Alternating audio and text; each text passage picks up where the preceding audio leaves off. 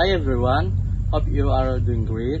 To the Honorable Mr. Mofit as our lecturer of pest management and all our beloved friends.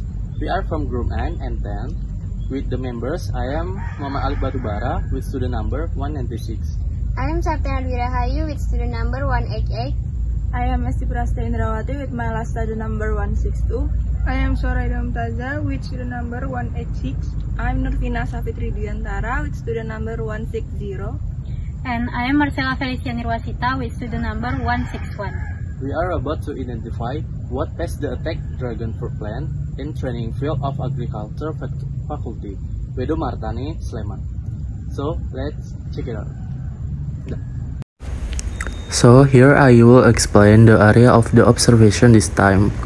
With an area of 22 meters multiplied by 30 meters, where the total area is 660 square meters, with a spacing of 2 meters between plants.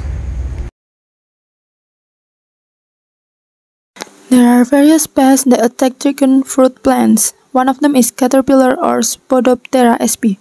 We found them on stem. They eat stem and leaf holes. Their activity can disturb plants' physiological function, in this case is photosynthesis. Sometimes these pests can be found on the fruit.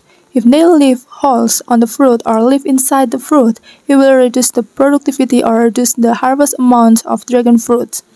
The holes that they have made can also be a gateway for various disease pathogens. In general, we can control this pest population directly, take and throw them away if their population are small. But if the populations are too high, we can do fumigation or use insecticide instead. One of the pests found on dragon fruit plants is Physomerus grossipes. The pest Physomerus grossipes comes from the order Hemiptera and belongs to the family Coreidae. This pest lays its eggs on the underside of leaves or stems. The female imago protects the eggs and young nymph groups. The egg stage lasts for approximately 15 days. The nymphal stage consists of 5 instars. Overall, the time required for male pests to complete one life cycle is around 85 days, while female pests require 88 days. Adult males and females are similar in general appearance except that the last abdominal segment of the male is more pointed than that of the female, and the hind leg of the male has a characteristic spine. Nymphs and adults of Physomerus grossipes pierce the stems and stalks of plants to suck plant fluid, causing the plants to wilt and become stunted. Pest control can be done by catching pests directly or removing the affected plant parts. Next is centipedes. I will explain about centipedes as a pest in dragon fruit plantation. Actually, the presence of centipedes on dragon fruit plantation is not entirely detrimental. Centipedes also have a role in fertility, such as decomposed leaf and garbage in the soil. However, the excessive population and lack of food in their habitat can make this animal eat the stems and roots of young plants in dragon fruit plantation. And that's the reason why this animal become pest cause it cause damage on the dragon fruit plants. Plants that are too tall and dense can increase environmental humidity. This what makes centipedes appear so that they become pests. Centipedes can be controlled by giving access to sunlight to the dragon fruit plantation, trimming plants so that they are not dense, driving away centipedes by taking them by hand if there are only a few of them, and lastly, by using insecticides. Pest sampling was carried out during the day by directly observing the pest in the dragon fruit plants. Sampling was carried out once when the dragon fruit plants had appeared. The samples observed were five plants with the following layout. The formula used is I equal to small n divided by large n multiplied by 100%.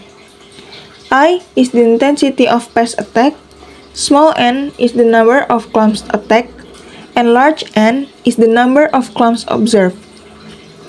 Based on the calculation results, it was found that the intensity of pest attacks in the first sample was 25%. In the second sample, it was 14.3%. In the third sample, it was 12.5%. In the fourth sample, it was 22.2%. And in the fifth sample, it was 14.3%. The average intensity of pest attacks on dragon fruit plantation is 17.66%.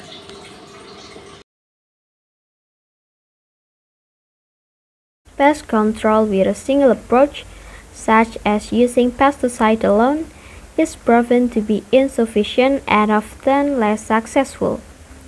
Based on this phenomenon, an effective control effort is needed to suppress the growth of pest population and not have a negative impact on the surrounding environment.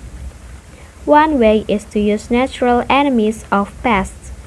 Spiders are one of the natural enemies of pests, especially insects, so they can play a role in controlling the insect population.